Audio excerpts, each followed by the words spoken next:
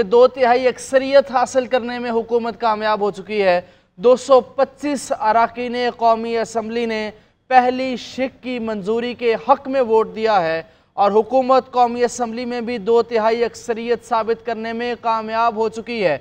इससे पहले सेनेट में दो तिहाई अक्सरियत साबित की। पैंसठ सेनेटर्स ने छब्बीसवीं आइनी तरमीम के हक में वोट दिया और इसी तरह कौमी असम्बली में 224 वोट चाहिए थे एक वोट ज़्यादा है हुकूमत के पास और पहली शिक जो है वो मंजूर कर ली गई है।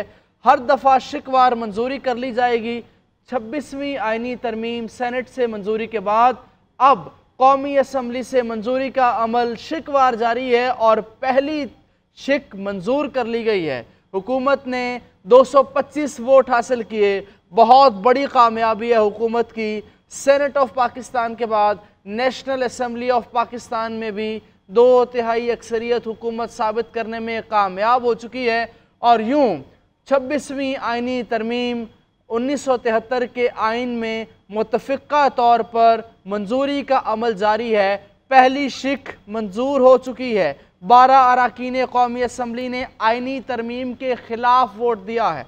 दो सौ पच्चीस अरकान कौमी असम्बली ने तरमीम के हक में वोट दिया। हुकूमत कौमी असम्बली में भी दो तिहाई अक्सरियत साबित करने में कामयाब हो चुकी है। और इस तरह छब्बीसवीं आइनी तरमीम मंजूर कराने के लिए कौमी असम्बली का इजलास जारी है। पहली शिक मंजूर कर ली गई है।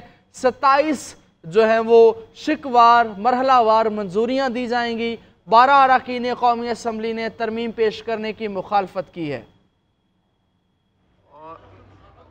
और छब्बीसवीं आइनी तरमीम सेनेट से मंजूरी के बाद कौमी असम्बली में भी मंजूर कर ली गई है। हुकूमत की बड़ी कामयाबी 225 अरकान ने हक में वोट दिए हैं। और अगर नंबर गेम की बात की जाए तो नून लीग के 111 अरकान कौमी असम्बली हैं पीपल्स पार्टी के 70 और एम क्यू एम पाकिस्तान के 22 जे यू आई फे के 8 पाकिस्तान मुस्लिम लीग काफ के 5 आई पी पी के चार और नेशनल पार्टी का एक है, पीएमएल ज़िया का एक वोट है, बाप पार्टी का एक वोट है और 225 अरकान साबित करने में हुकूमत कामयाब। छब्बीसवीं आइनी तरमीमी बिल कौमी असम्बली में मंजूरी के लिए पेश की गई। पहली शिक कामयाबी के साथ दो तिहाई अक्सरियत से मंजूर हो चुकी है। हुकूमत की बहुत बड़ी कामयाबी है। सेनेट में दो तिहाई अक्सरियत हासिल करने के बाद सेनेट में पैंसठ सेनेटर्स की हिमायत हासिल करने के बाद सेनेट में चौंसठ जो सेनेटर्स हैं, वो दो तिहाई अक्सरियत के लिए दरकार थे, लेकिन एक सेनेटर इजाफी था, यानी दो तिहाई अक्सरियत सेनेट में हासिल करने के बाद एक, जो एम एन ए है, वो 225 जो अरकान है कौमी असम्बली में मौजूद हैं 224 चाहिए थे 225 साबित किए हुकूमत ने और जो पाकिस्तान तहरीक इंसाफ है, वो वॉकआउट कर चुकी है। कौमी असम्बली से एहतजाजन वॉकआउट किया है। कौमी असम्बली में खिताबात का सिलसिला जारी रहा। Chairman P T I barrister Gohar ने खिताब किया।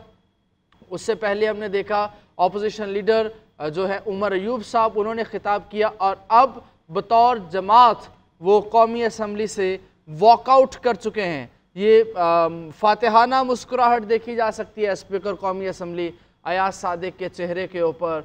दो तिहाई अक्सरियत हुकूमत साबित करने में कामयाब। तहरीक की हिमायत में 225 वोट काउंट किए गए हैं।